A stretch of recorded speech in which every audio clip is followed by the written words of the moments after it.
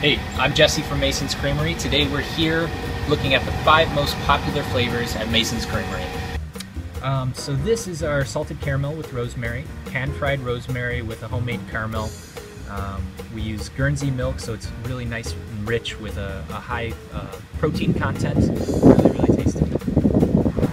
So next up is Rising Star coffee. We use Rising Star's Apocalypto espresso roast. We soak that in cream for 24 hours and it gives it a really, really rich espresso flavor.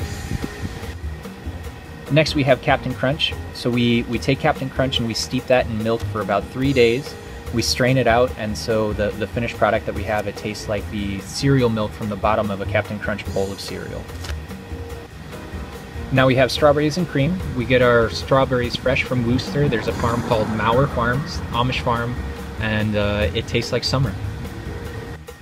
And now we have Earl Grey. So we get the Earl Grey tea from a place called Cleveland Tea Revival.